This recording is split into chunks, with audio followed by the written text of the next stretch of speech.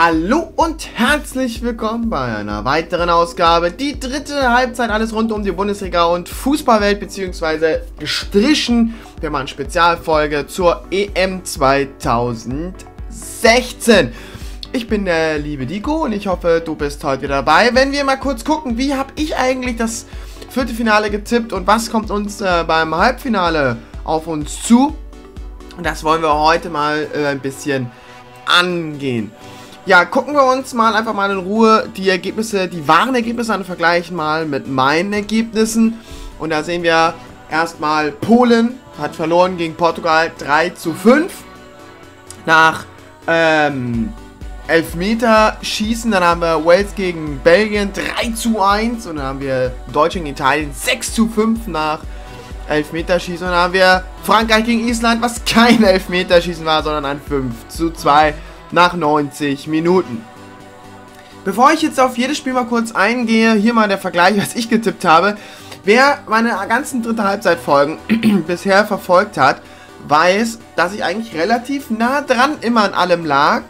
Aber das Viertelfinale ging ja mehr als in die Hose. Da habe ich nur Deutschland das Weiterkommen richtig getippt, aber ansonsten ist alles ein bisschen, ja, katastrophal geworden.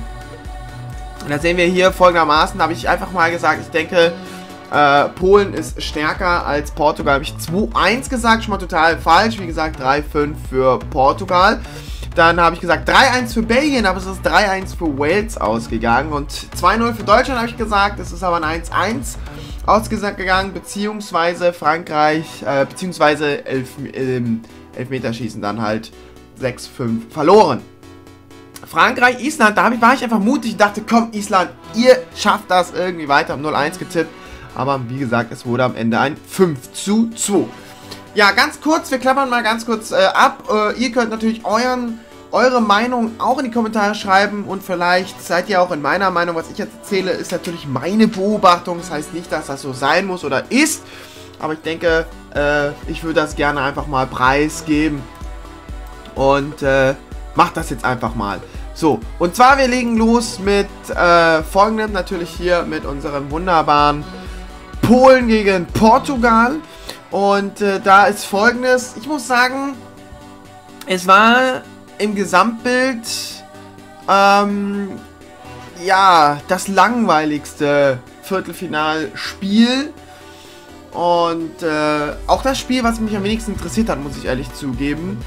Ähm, und ich kann auch nicht so, so viel dazu sagen, weil es das, das einzige Spiel, was ich teilweise ja, die ersten 30 Minuten verpasst habe. Und ich finde, dann habe ich auch nicht das Recht, irgendwas zu kritisieren oder zu bewerten oder Meinungen zu äußern. Wenn man etwas nicht gesehen hat, sollte man die Finger davon lassen.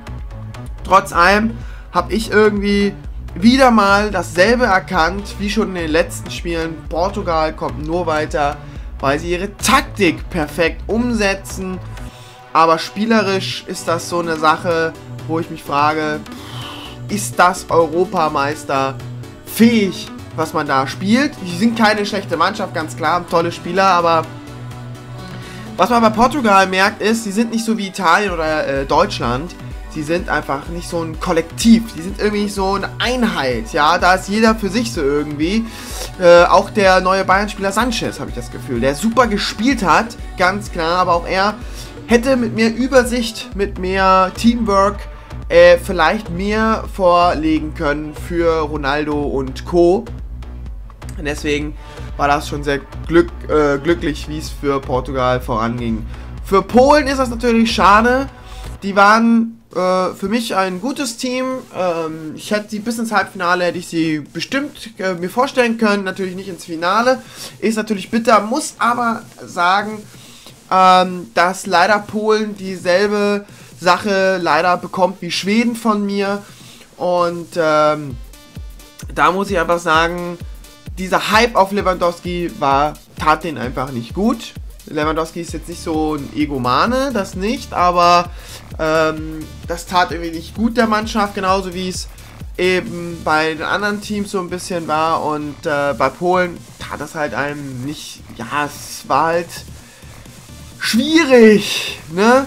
So, und bei Schweden zum Beispiel, Ibrahimovic war es genauso. Alle haben den Hype und haben die Hoffnung auf Ibrahimovic gesetzt. Und Ibrahimovic, ganz ehrlich, Leute, tut mir leid, ich sagen muss, er hat grauenhaft gespielt. Er hat absolut grauenhaft gespielt, diese EM. Kann man jetzt natürlich so sehen, dass er einfach schlecht gespielt hat. Man kann auch natürlich so argumentieren, dass er einfach, ja, ähm, keine guten Hintermänner drin hat. Aber für mich persönlich ist ein Fußballer kein guter Fußballer, wenn er nur gut spielt, wenn er gute Hintermänner drin hat. Dann darf er sich nicht so in den Fokus legen. Ein Wales zum Beispiel, äh, ein Wales schon, ein Bale zum Beispiel, wie der abgeht für seine Mitspieler, der will gar keine Tore schießen, der will die Tore sogar vorlegen, der will einfach leidenschaftlich weiterkommen.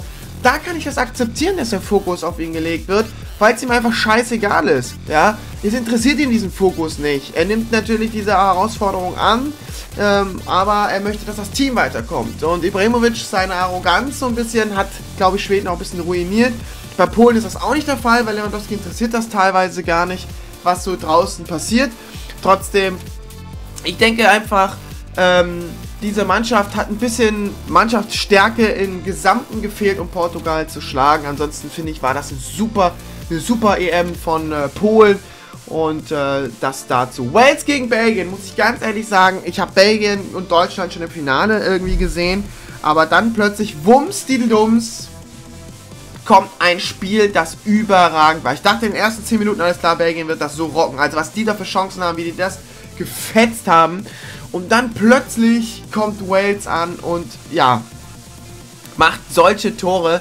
Das war mehr als überragend. Und Bales Jubel, den man öfter im Fernsehen gesehen hat, der hat mir ein bisschen Angst eingejagt, ehrlich gesagt. so, und ich muss sagen, Wales hat mir gegen Nordirland überhaupt nicht gefallen. Also daher hätte ich am liebsten keinen von beiden weiter gesehen. Aber gegen Belgien muss ich wiederum sagen, da hat es Wales wirklich verdient. Das war überragend, was die da geleistet haben. Von Belgien muss ich sagen, bin ich sehr, sehr enttäuscht. Aber auch da ist wieder so dieses Ding. Dieser ganze Hintergrundlabergemache da über Wilmots und das ganze Team. Und ich weiß nicht, ob das einfach nur Aufpushen ist von den Medien oder ob da wirklich im Hintergrund die Mannschaft gar nicht so einig ist mit Wilmots. Keine Ahnung, kann ich nicht bewerten. Ich sage nur eins.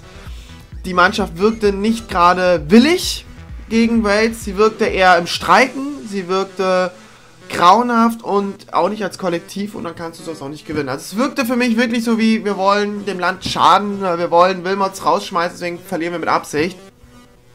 So kam ein bisschen das Ganze rüber. Frankreich gegen Island, 5 zu 2, leider war das kein Ergebnis fürs Elfmeterschießen, sondern es war, ja, in ähm, den 90 Minuten. Und ich muss sagen, Island verabschiedet sich mit einem unfairen Endergebnis. Ähm, das ist wirklich bedauerlich. Aber wenn ihr selbst unter den Social Netzwerken mal gesehen habt, wie dieses Land dann die Ankömmlinge aus der EM gefeiert haben, äh, da kann Frankreich von mir aus Welt äh, Europameister werden. Die werden nicht so geil befeiert wie die in Island. Das ist einfach sowas von geil und äh, ich habe auch schon gehört, so wie Bjarnason zum Beispiel, der blonde lange Haare hat, der ja richtig, hat noch kein Fußballer in letzter Zeit so gesehen, der so leidenschaftlich fightet und Fußball spielt. Der hat jetzt auch einige Angebote auch aus der Bundesliga und da bin ich gespannt. In der Bundesliga würde ich ihn gerne sehen.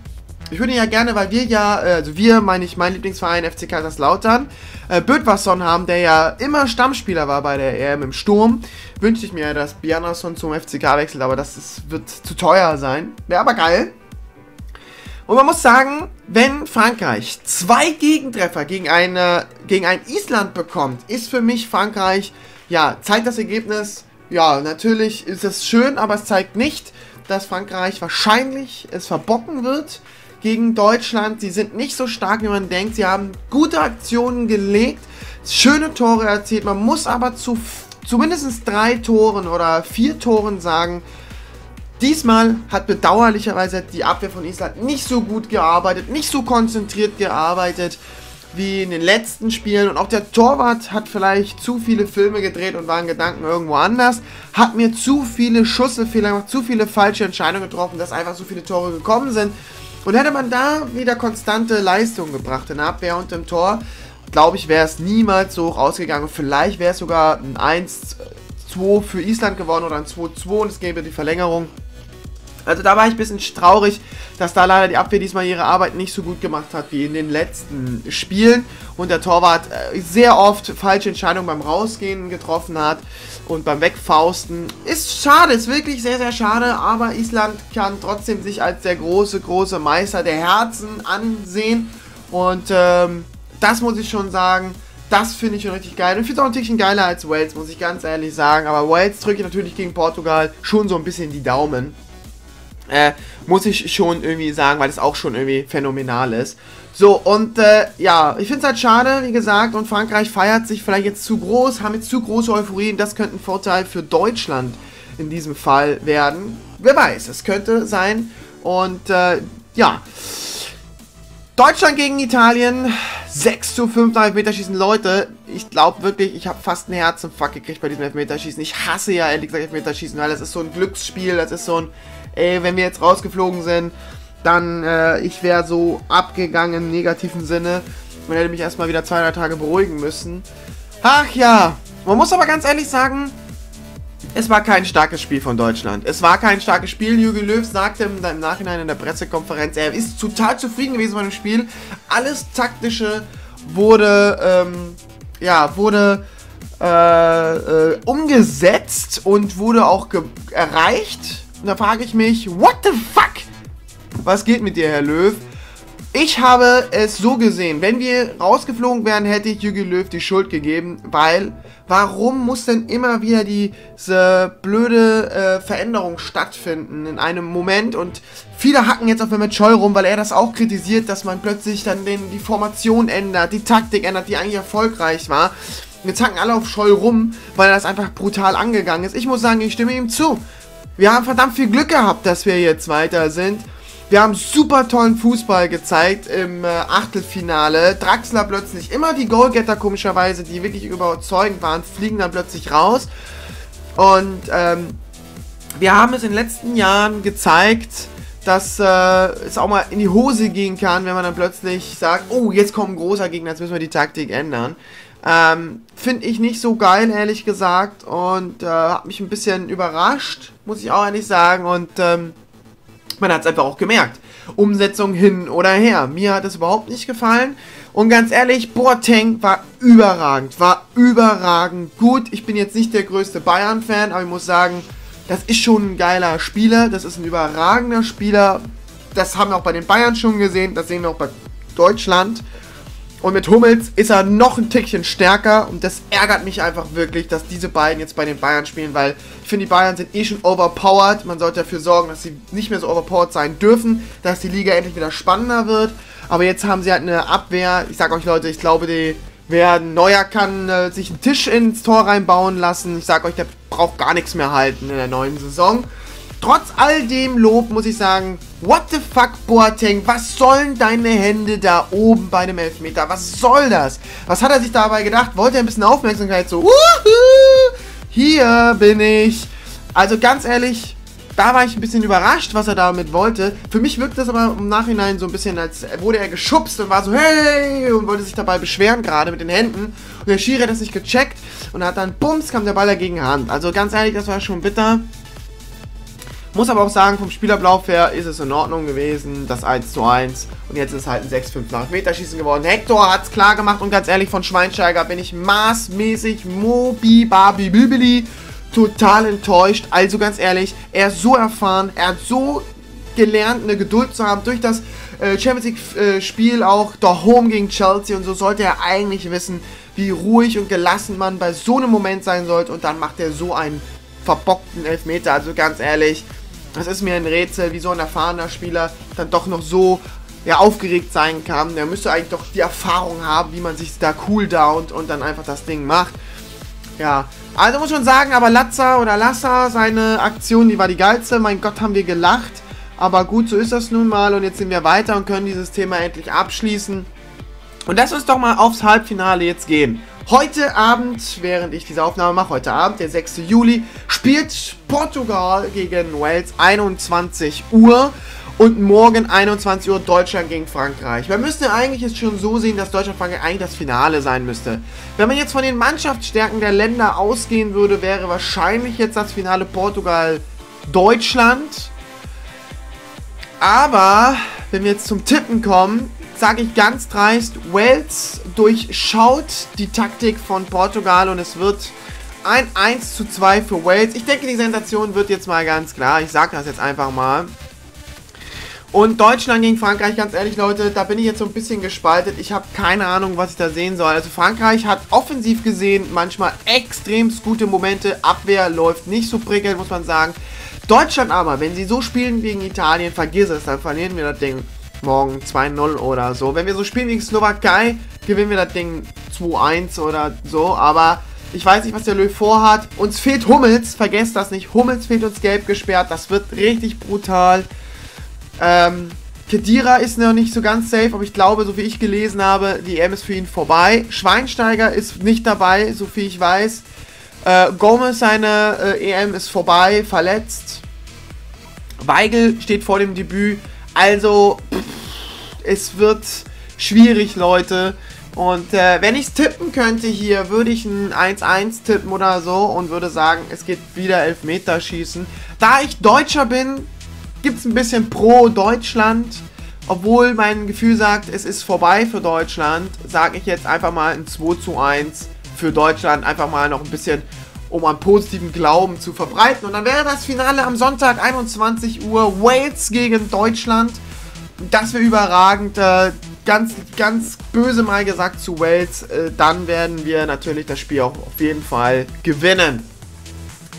Aber Wales kann sich als Zweiter äh, schon schätzen. Was hier nicht drin ist, natürlich Platz. Äh, obwohl, gibt es bei der EM überhaupt ein Spiel über Platz 3? Gibt's gar nicht, ne? Gibt's gar nicht. Weiß ich schon gar nicht mehr, aber ich glaube nicht, ne? So, das dazu. Und ich gibt noch eine Sache, die ich euch zeigen möchte zum Thema Frankreich, Deutschland, warum ich auch für Deutschland bin, ist, das interessiert euch vielleicht. Und zwar folgendermaßen, muss ich mal kurz noch ein bisschen hier für euch, äh, hoppala, mal kurz so ein bisschen so machen. So, und zwar, das hat die Sportshow veröffentlicht. Und zwar, ich habe das auch vor kurzem getwittert, nach dem Spiel gegen Italien, dass sich Frankreich nicht so früh freuen sollte, denn Deutschland hat zuletzt 58 gegen einen Gastgeber verloren und sonst immer gewonnen. Deutschlands Halbfinalbilanz gegen Turniergastgeber. Da sehen wir WM 1958 haben wir gegen Schweden 1 zu 3 verloren. Schweden stand damals im Finale. Und dann haben wir alle Halbfinalspiele gegen Turniergastgeber gewonnen. EM 1972 2-1 gegen Belgien. EM 1976 nach Verlängerung 4 zu 2 gegen Jugoslawien damals noch. Dann EM 1992 3-2 gegen Schweden.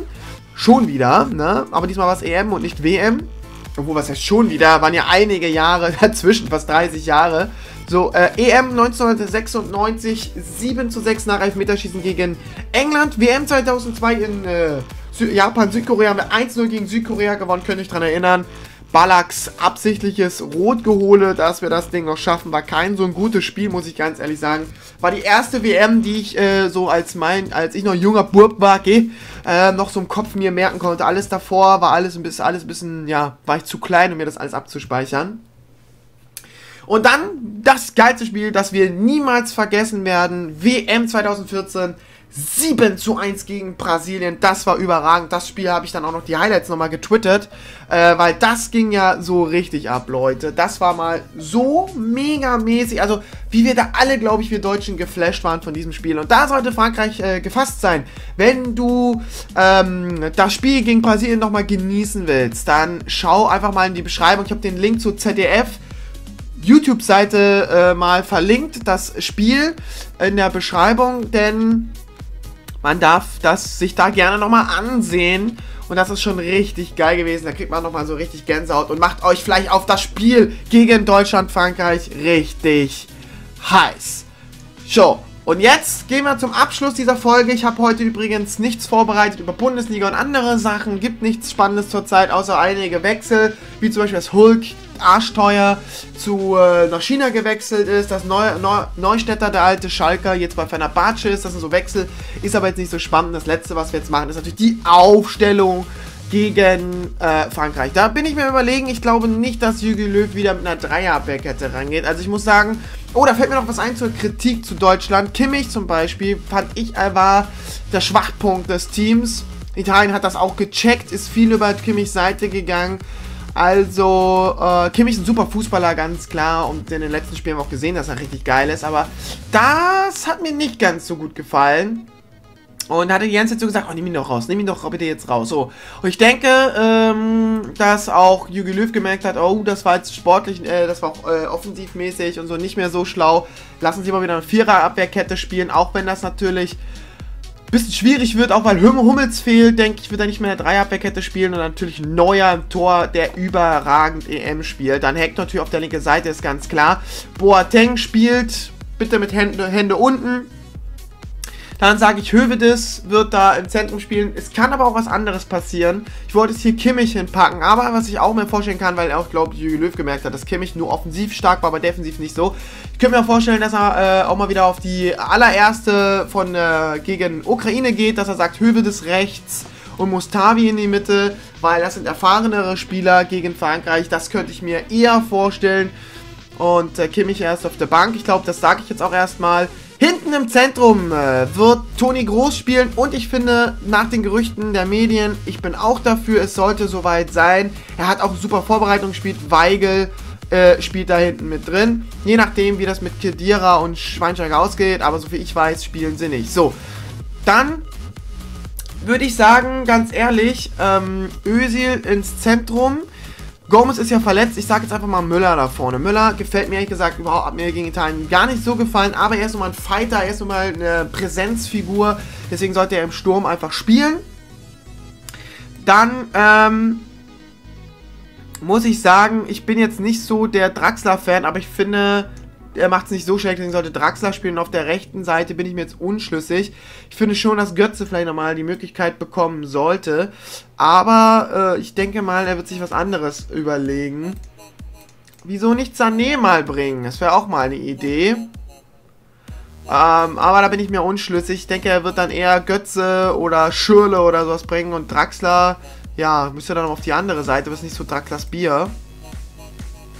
Vielleicht macht er das ja mal. Ich gehe jetzt einfach mal das Risiko ein und sage, Sané, ich glaube nicht, dass er das tun wird, aber ich sage das jetzt einfach mal, speichere das Ganze hier ab. Wumms, Dums. Und da sehen wir, Boateng wird natürlich wieder gesetzt, Toni Groß, Neuer, Hector, Müller, Özil.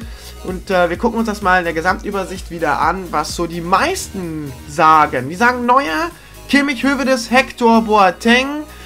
Das sagen die, also die sagen, Hövedes soll ihn ersetzen. Ich denke mir auch Kimmich, aber um, äh, ich gehe jetzt einfach mal das Risiko ein mit Mustavi und Hövedes. Es wird wahrscheinlich Kimmich, sp Kimmich spielen. Ich versuche aber mal immer ein bisschen selbst eine Herausforderung zu sammeln und einfach mal um das Unerwartete doch vielleicht zu, hinzubiegen. Ösi und Weigel, das wird definitiv Toni Groß und Weigel werden schon sein. Ich weiß nicht, wie andere Zuschauer das sehen. Die sehen immer die Position anders als ich. Toni Groß auf der linken Seite, Draxler als Spielmacher, Müller rechts und Götze vorne. Schauen wir mal. Das ist natürlich auch logisch. Da hätte ich gar nicht mehr gedacht. Götze alleine wieder vorne und Müller. Aber ich finde es nicht gut, ehrlich gesagt. Deswegen gleich bei meinem. 4-5-1-Taktik sagen immer noch die meisten.